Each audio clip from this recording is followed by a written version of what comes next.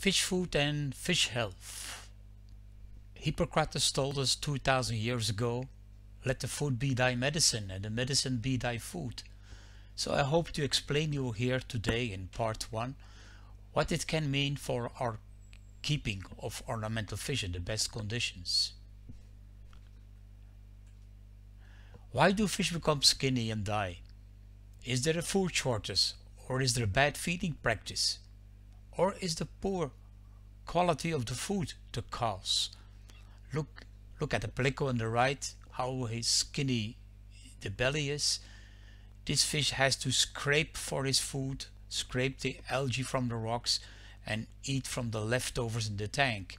This is not a good practice. The fish will eventually die. The skinny cardinal tetras you see on the left.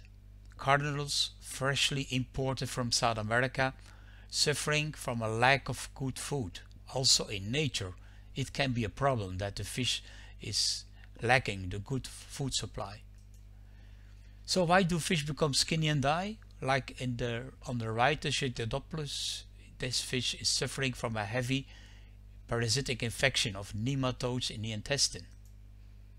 And these gobies are also so skinny due to food competition and lack of good food supply. So many different reasons. And here we see a reason that the clown loaches is becoming very very skinny and eventually will die because he has to compete with the food with the barbs. Well these fish don't belong together. The barbs will eat all the food and the clown loaches will have a real shortage. So fish can get sick due to the stress and then eventually the pathogens which are around in the water or can be there like bacteria or fungus or parasites. So stress is a cause. And we know some of the factors that can produce this stress and that's particularly the poor water quality that we can do uh, find out with testing testing to find out the ammonia, the nitrite, the oxygen level. Also netting the packing and the transport can be a stress for the fish. The temperature fluctuations when we do bad water changes with too cold water or too hot water. Aggression is a cause of stress, overcrowding, and so many factors which we know. Here we see in this fish of uh, these cichlids here kept together in a tank but lacking uh, the good food they should have. If they lack the food they will become aggressive, they will chase each other they will damage each other, they get lesions and they die. Here those marine fish, those powder blue tangs fighting and for and showing aggression, causing lesions and damage, and this of course will cause disease.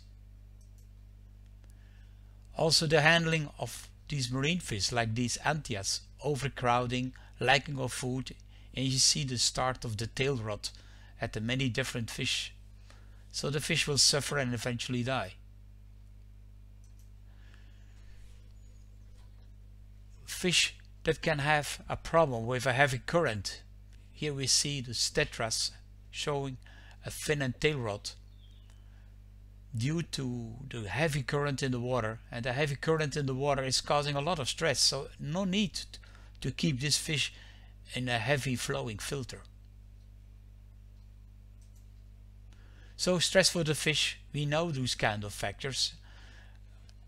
And of course the factor I would like to discuss today with you is the food stress or bad food and poor feeding practice which is a very important factor which is in many cases neglected.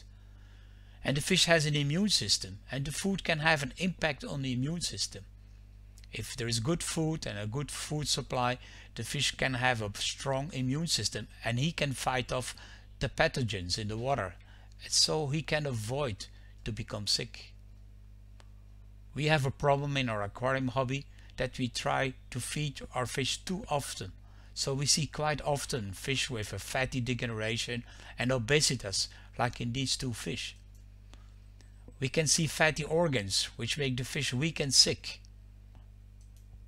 if we open the fish we can examine it and we can see that there is a fatty greasy content and the microscope tells us how the empty or a lot of fluids are kept into the intestinal uh, area, so causing a diarrhea kind of infection of the fish. And also due to the food stress, the fish becomes uh, very weak and has a poor defense system and the gills get damaged and here they rot away and eventually the fish will die from the damaged gills. What other stress like here, these fish, it's not easy to feed this kind of fish, this kind of quantity kept together in a display tank in an aquarium at a pet shop. This is not the way we should keep the fish, it will cause problems.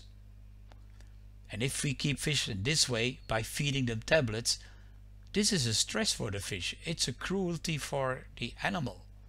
So avoid feeding quite often the tablet. Once in a while you can do, but avoid it if you can. In this microscopic video here, we can show the empty intestine of the fish we examined. Uh, they were suffering so-called from a disease. No, we find out they were suffering because they were lacking food. There is hardly any food content in the intestine, hardly any excrements. So what can you do, you as a hobbyist? Well, the first thing you should do is invest in a good fish food. Fish food is the cheapest, the easiest fish medication you can get and it helps you in preventing fish diseases. The fish that are not well fed, they have a much bigger chance to get sick and it will become more difficult to cure them. So let the food be thy medicine and the medicine be thy food. In this video we show the plecostomus eating just granulate food. And you see they're not going to the vegetable in the in the tank. So the fish are really going crazy for the real food. So think about your plecos that you feed them. You give them sinking food that goes to the bottom. So granulates the, advantage of granulates you have a choice of size size depending on the kind of fish you keep here I show you my home tank with 12 year old cardinals which have been fed only with our Dr. Bassleer biofish food. And you see the slow sinking small pellets in the water which give fun to all the fish. And that food can make a difference. Well, you can see on the left the pale colored fish and on the right you see the fish with full color which had an appropriate food which gives them the health and full splendid colors they should have. Here you see clown loaches in a pet shop becoming very skinny because they're kept between rainbow fish. Rainbow fish are taking the food much faster. And on the right we have been feeding sinking granulates so all the fish have a chance to take some of the food. This helps them to, to survive in this kind of community. So a good food has good ingredients and a good processing. And why are granulates a good fish food? Because the good ingredients can be well digested. That's what we look for, for proteins that are so important that they are 100% digested by the fish. Also the controlled production process make sure that there is no pathogens into the food and it preserves the quality of the ingredients. We can define different sizes. We can add supplements like probiotics and algae to the food. And of course, something to think about, our good food works only when you feed it correctly. Hippocrates told us, let food be thy medicine. A food can also be good, but can certainly be functional and a functional food is a food that has a health promoting factors that can prevent disease due to additional new ingredients we add on. And what ingredients and functions we can add on? Well, we use probiotics in all our Dr. Bassleer biofish food with bacteria Pediococcus acidilactici, which improves the intestinal flora. We have to understand that the intestinal flora is a very important defense system. We're adding on prebiotics like yeast extracts, chlorella, aloe vera that stimulate the immune system of the fish and helps also the activity of the gut bacteria, so improving the defense system. We also adding on plant and plant extracts, which help the fish to regenerate or to fight diseases, like garlic, matrine, thymus, grapefruit seed extracts, moringa and many others.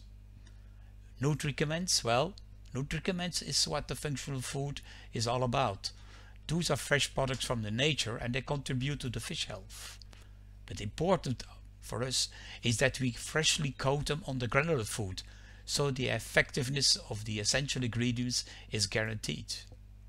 And since 1996 we already are using the immunostimulants in our Dr. Bassleer Biofish Food Forte. What can they do? Well, the stimulants, when they're freshly coated on the fish food, it's very important that they are helping the fish to fight against infections. You some cases it's necessary, like we told you, and the fish is suffering from stress. And particularly when the fish are new arrivals in your fish tank, or after a disease, or after stress, it's something you can apply. You have to feed it 10 to 12 days each month, otherwise the automatic immune system will not function. So only feeding 10 to 12 days is sufficient in each month to have a good st stimulated immune system of the fish. We had some testing done in the laboratory and we can see the, the red line here where there is biofish food forte used with stimulants that the macrophage which is part of the defense system of the fish is available in high quantity so there's a high defense system no stimulants used you see the fish in a stress condition losing his ability to fight off because he is lacking the quantity of macrophages. what is a macrophage? Well, macrophage is a kind of defense system which is absorbing, taking away the microbes out of the system of the fish. So it's a real defense and the more you have of these macrophages, the better the defense. So this video is sponsored by Dr. Bassleer Biofish Food, our product for the specialized hobbyist who thinks about quality. You need more information? Well, you can go to our website, thebasler.com. You can follow us on YouTube and watch the next videos to come. I thank you for your attention and I hope to see you next time or see you listed on our YouTube channel. Bye bye.